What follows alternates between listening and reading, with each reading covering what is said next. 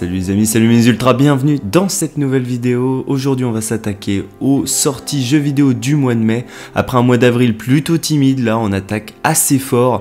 Alors si vous aimez les jeux horrifiques, les nostalgies avec des, un jeu remasterisé ou alors un jeu qui était annoncé il y a longtemps et on a enfin des nouvelles et ça sort bientôt, eh bien c'est parti, je vous en parle. Allez, on débute avec Resident Evil Village. Ça sort le 7 mai, c'est un survival horror édité par Capcom. C'est un jeu solo, ça sort sur toutes les plateformes, hein, sauf la Switch. Euh, PC, PS5, Xbox Series, PS4 One et Stadia. Et donc euh, Resident Evil 8, et eh ben, c'est la suite directe de Resident Evil 7. Oh la vache Pour une fois, c'est dans l'ordre. Ouais, parce que les Resident Evil, des fois, hein, les héros ne se suivent pas, hein, c'est pour ça. Donc voilà, on va retrouver cette fois-ci Ethan Winters, sa famille, Chris Redfield. Hein. Euh, et effectivement, bon, euh, son bébé a été kidnappé à ce cher Ethan, donc il va se retrouver dans le trou du cul du monde, en Roumanie, dans un village peuplé bah, de monstruosités. Donc là, on va retrouver des licans des licans, des vampires et d'autres monstruosités. Donc va falloir eh ben, retrouver, comprendre ce qui s'est passé. Et Chris a un rôle un peu spécial dans celui-là, il fait un peu flipper. Enfin voilà, on va retrouver l'horreur par excellence. Le jeu a l'air vraiment stylé. Euh, niveau graphisme, ça a l'air de bien péter. En tout cas, les démos, je suis en train de les faire. Je vous en parlerai très prochainement dans une autre vidéo où je donnerai mon avis. Mais en tout cas, ça a l'air vraiment de faire flipper. L'ambiance est là. Enfin voilà. Pour moi, déjà, de mettre le, jeu à la première personne, c'était une tuerie parce que ça renforce l'immersion. Les sons sont trop géniaux, les sons 3D sont vraiment bien faits. Enfin voilà, je m'arrête là. Juste un truc, c'est dommage qu'il n'y a pas la VR pour le moment comme Resident Evil 7 avec le PlayStation VR. Mais bon, il y a le PSVR 2 qui arrive, donc peut-être qu'il y aura une mise à jour un jour. Voilà, ça sort le 7 mai, c'est Resident Evil Village, et ça sent le gros carton de cette année 2021. Allez, on enchaîne avec Resident Evil Reverse, qui est un shooter multijoueur mettant en scène les personnages iconiques de la saga Resident Evil au sein d'environnements tirés des nombreux jeux de la franchise. Le jeu est gratuit pour tous les acheteurs de Resident Evil 8. Vous choisissez donc votre personnage de base parmi les différents héros proposés et ensuite vous partez vous confronter à d'autres joueurs. Si vous mourrez, vous vous transformerez en arme biologique comme le Genesis ou le Tyran S. Donc c'est un jeu multijoueur qui arrive en même temps que Resident Evil Village. C'est à tester, vous avez ma preview en haut à droite si ça vous intéresse où je donne mon avis sur le jeu.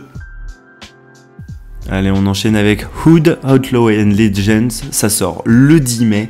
C'est un jeu multijoueur où le but est de récupérer le butin d'une forteresse avant l'équipe adverse. En fonction de votre personnage, vous aurez différentes compétences qui vous aideront à récupérer les trésors. Vous pourrez tenter l'approche discrète ou alors foncer dans le tas comme un bourrin. À vous de voir, il faudra jouer en coop pour vous en sortir dans ce jeu PVE PVP. Donc ça a l'air bien sympa, hein. ambiance Assassin's Creed, donc vous avez différents personnages avec différentes compétences. Il y a de la rejouabilité. Euh, vous allez pouvoir euh, customiser votre personnage, améliorer ses compétences, et après il faudra jouer soit en mode bourrin avec des personnages dédiés, soit à distance, soit en mode furtif. Donc ça a l'air sympa, à voir si la rejouabilité est vraiment là, si on va pas s'ennuyer dans le temps. En tout cas, euh, il a l'air super intéressant et l'idée est bonne. Alors la prochaine sortie n'est pas un jeu mais plutôt un DLC, c'est Assassin's Creed Valhalla, la colère des druides. Donc c'est le premier pack d'extension, hein. ça va emmener le joueur en Irlande et permettre de découvrir un ancien et mystérieux culte druidique. Eivor va traverser le paysage éblouissant et les forêts hantées. Et l'extension est disponible gratuitement pour les joueurs qui ont le Season Pass, bien sûr. Et vous pouvez aussi l'acheter seul pour 24 euros. Et le Season Pass, il me semble qu'il est à 40 euros. Donc voilà, petite news sur un DLC qui a été repoussé, hein, qui devait déjà être de sortie. Donc voilà, ça sort le 13 mai. Allez, ensuite on a Mass Effect Legendary Edition qui est prévu pour le 14 mai. Donc c'est un action RPG, c'est un jeu solo, c'est édité par EA développé par BioWare, ça sort sur pas mal de plateformes comme PC, PS5, Xbox Series, XPS4 One, etc. Et donc Mass Effect Legendary Edition, c'est une compilation des trois jeux Mass Effect par BioWare remasterisés avec de nouvelles options graphiques, techniques et tout le contenu additionnel disponible. Cette, cette compilation pardon, offre une version modernisée de la trilogie composée par Mass Effect 1, 2 et 3. Donc les fans de la saga qui kiffait Mass Effect 1, 2 et 3, surtout le 1, le 2 aussi, le 3 un peu moins bien, euh, enfin il s'est un petit peu vautré si je me souviens, mais bon, ça a été rattrapé par des patchs. Eh ben, ils vont être ravis parce que franchement, et même ceux qui ne l'ont pas fait, hein, euh, c'est une petite tuerie, c'est vraiment un jeu que BioWare a vraiment maîtrisé. Hein. Donc voilà, ça sort le 14 mai sur la majorité des plateformes. Et on continue avec Knockout City. C'est un jeu action sport qui sort le 21 mai, jouable en solo et en multijoueur en ligne. C'est édité par EA et développé par Verlan Studio. C'est un jeu compétitif en équipe où vous allez vous affronter à la balle au prisonnier. Bon, revisité, hein.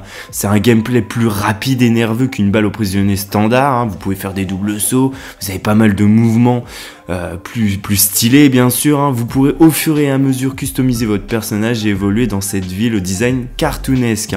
Donc c'est un jeu assez fun, avec des bons petits moves, des bonnes petites esquives ou même rattraper les balles avec plein de compétences qui vont mettre à, eh ben bien à défaut les ennemis, hein. vous allez pouvoir leur faire très très mal, les transformer en balles en, balles en plus aussi. Enfin voilà, plein de choses, ça a l'air super sympa, super fun et ça change de d'habitude de tout le temps euh, des jeux de combat, etc. Donc ça sort le 21 mai. Et on finit cette sélection avec Biomutant, ça sort le 25 mai, c'est un RPG open world, c'est jouable qu'en solo, c'est développé par Experiment 101 et édité par THQ Nordic. Et eh bien c'est un jeu qui a fait parler de lui depuis des années. Et après il y a eu du silence radio pendant quelques temps. Et là il revient et il sort enfin. Et il a l'air super ambitieux, en tout cas THQ Nordic a laissé le, le temps aux développeurs de développer le jeu, ils n'ont pas mis la pression c'est vraiment très rare en ce moment avec euh, euh, bah, les éditeurs hein, euh, qui demandent des fois que le jeu sorte tout de suite. Donc voilà, Biomutant c'est un RPG avec un petit côté kung-fu, donc combat au corps à corps et aussi combat à distance avec des flingues et tout. Donc le petit côté kung-fu est plutôt sympa. Et vous allez devoir explorer un monde en plein chaos et déterminer votre avenir entre sauver le monde ou le plonger dans un destin encore plus sombre. C'est vrai que ce jeu me botte bien là, avec cette petite ambiance un peu cartoon, un peu dessin animé. Enfin, ça change des jeux comme d'habitude.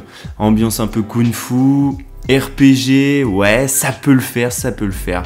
Enfin voilà ce que je pouvais vous dire sur les jeux du mois de mai. Bien sûr, c'est ma sélection, mais je vous ai choisi quand même une sélection avec des jeux plutôt importants et qui peuvent vraiment faire la différence.